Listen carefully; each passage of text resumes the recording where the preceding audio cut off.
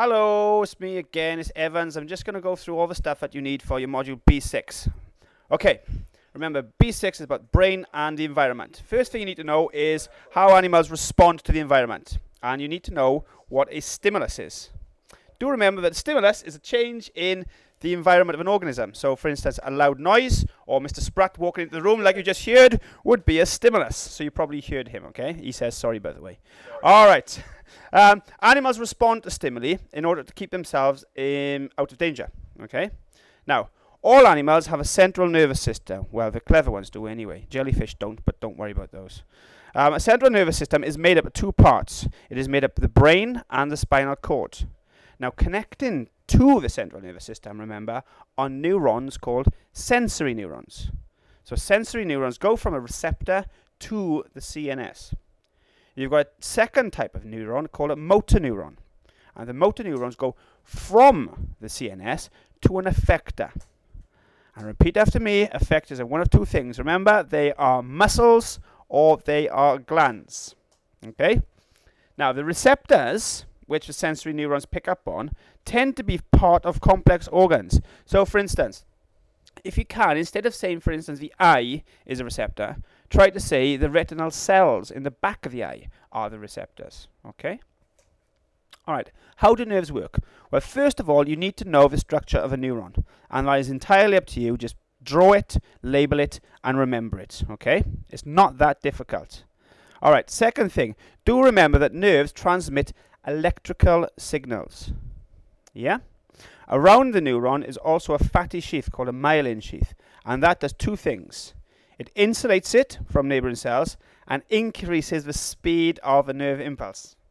Okay? Now, at the end of a, new, nerve, a neuron, there is a gap before it goes on to the next neuron.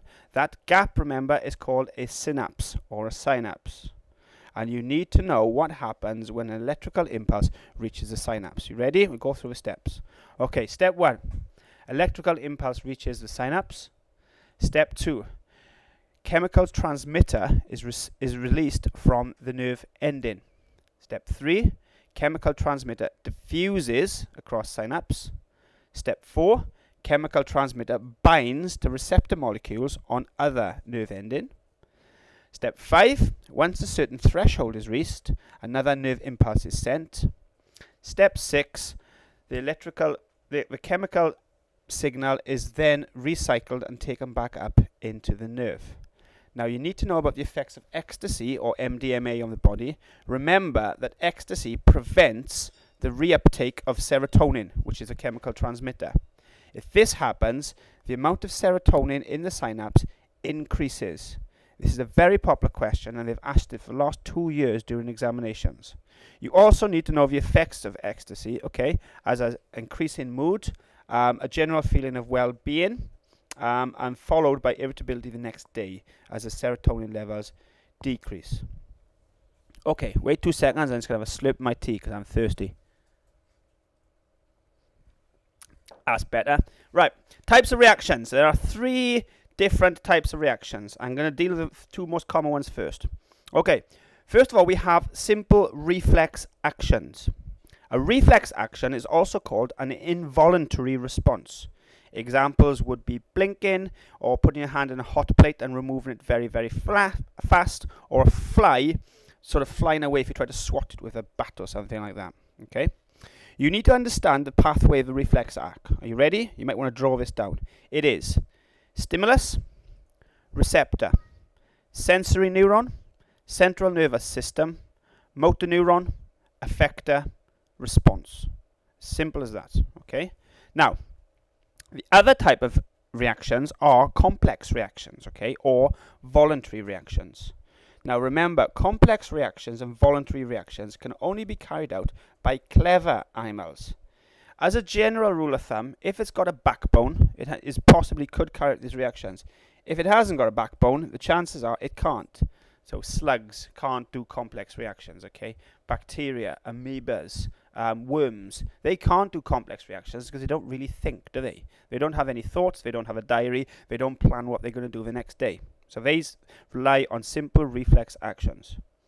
Now, the one that always comes up in the examination is the conditioned response, conditioned reactions. And the example which is always given is Pavlov's dog. This was some nutter who basically um, used to ring bells and then he used to cut the dog's throat and watch the saliva drip out. And he noticed that dogs could be conditioned to respond to another stimulus. So, for instance, he rang a bell and the dogs would salivate. Okay, this is called a conditioned response because the stimulus has got absolutely nothing to do with the response. If you think about it, ringing a bell and salivating have got nothing to do with each other. And these are the key elements of a conditioned response. The example I used in class, remember, was mentioning the name Mr. King, and you all, you guys all doing your ties up. Okay, that again is a conditioned response. A conditioned response is one that can be learnt. Okay. All right. The final thing you need to know about types of reactions is that certain in certain circumstances, you can modify a reflex response via a neuron to the reflex arc. So, for instance, if you've picked up a hot plate and you have a baby on the floor, just for a few seconds, you can prevent the reflex action happening just so you can move the plate out of danger. Okay, learning new skills. Now remember, in your brain, what you have are billions and billions of neurons, okay?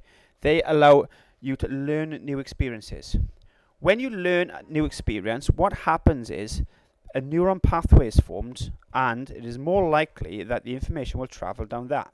As you repeat an experience again and again by repetition, the neuron pathway is strengthened, which means the speed of impulse is increased. Okay? All right. There is some evidence as well to suggest that certain parts, certain aspects of learning are only learned at certain times of your life. So, for instance, feral children, that's children who've been brought up without the influence of adults around them, can't learn language after a certain age. So, for instance, after puberty, if you haven't learned language by then, you're never going to be able to learn language. In the examinations, they might ask you which part of the brain is responsible for so and so, so and so. It is always going to be the cerebral cortex. That's the only part of the brain you have to remember, okay? The short term and long term memory are parts of the cerebral cortex, so they're found inside the cerebral cortex. Okay, the memory the memory the, the memory stage model is something that you have to remember which is quite complex. So if you just bear with me I'll just go through it. First of all you've got your sensory memory and that's what you pick up from your eyes or in this case from your ears or sometimes by touching things. When it goes through your sensory memory it goes into your short-term memory. Now from here it can be lost if you're not careful but if you repeat it, in other words, if you're mad enough to play this tape again after this recording and listen to it again and again and again, through repetition, it will go into your long-term memory. By the way, you probably have to listen to this about seven times before it goes in, so good luck. This is called the multi-store model. The other thing you might want to do is go into Google search box and type in multi-store model and see what comes up, okay? Because that is something that you really, really have to learn. All right how we used how we actually studied the brain. There's a number of things that we've done, okay, and you have to just have a sort of touch and acquaintance, if you like, with things such as MRI brain scans and what they actually do. So you might want to check on that. Okay, I think that is it. So good luck in your examinations, and if there's anything else you need, just come and see me. Bye.